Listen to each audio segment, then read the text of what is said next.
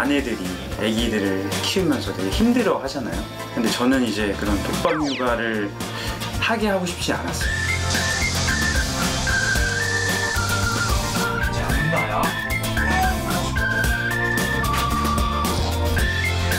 뭐예요?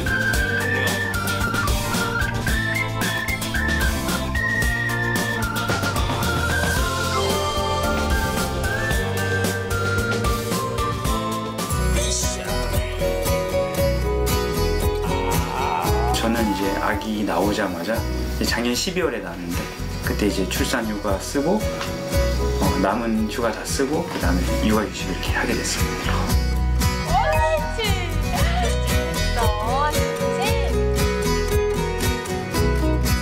선생님,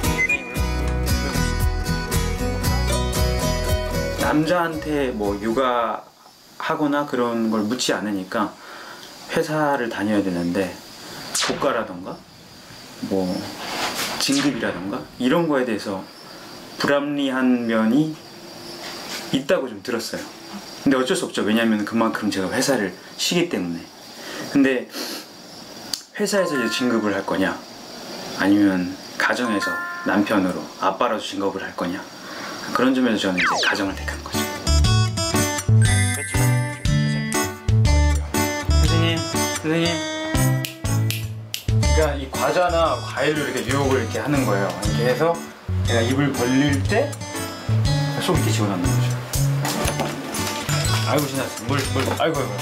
잘 갔어요? 여기 있네 여기. 여기 여기 여기 여기. 부부 관계도 그렇고 그 아빠라는 역할도 그렇고 이거를 해야지 좀 더 좋아지는 것 같고 사실 뭐 돈은 뭐 나중에 또 모으면 되니까 근데 아기 키우는 거는 그 시기가 있기 때문에 그걸 놓치면 나중에 뭐 아내한테도 미안하고 애기한테도 미안할 것 같아요.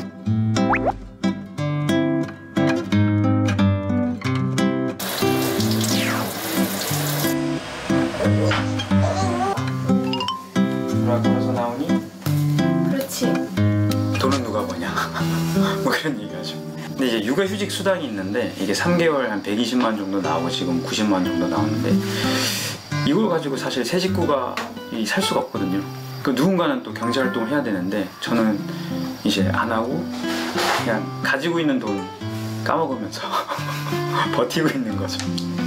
들지 들지 들지 아 내가 더 크지? 애기랑 이런 시간을 가져야지 좀 유대감이 생겨 가까워지는 것 같아요. 다른 동료분들은 이제 일하느라 애기 볼 시간이 많이 없잖아요. 그래서 이런 추억을 만들지 못하지 않을까요? 늑대 무서? 늑대 넘기자 그래 뭐라고? 잠깐 대장은 나야? 아 도망가자 토끼네 왜? 지겨졌어? 저희가 사실 애기가 이뻐서 핸드폰으로 많이 찍어 놓잖아요. 근데 찍어 놓는 거 엄청 많은데 다시 보는 경우는 잘 없어요.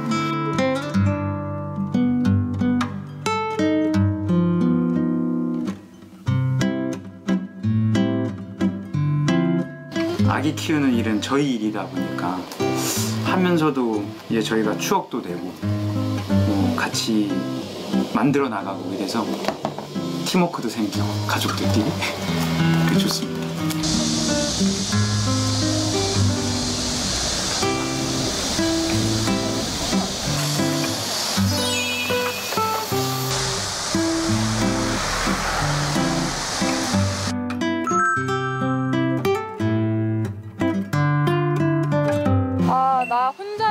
못했겠구나. 정말 육아라는 게 참 쉽지가 않구나 이런 걸 느껴요. 남편이 있었기 때문에 지금까지 우리가 웃으면서 되게 행복하고 화목하게 올 수 있었지 않나 싶습니다.